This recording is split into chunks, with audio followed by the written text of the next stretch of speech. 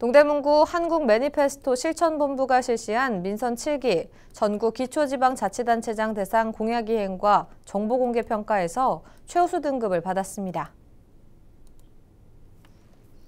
한국 매니페스토 실천본부가 전국 226개 시장, 군수, 구청장을 대상으로 공약 이행 완료, 2020년 목표 달성, 주민소통, 웹소통, 공약 일치도 등 5개 분야의 평가를 실시했습니다.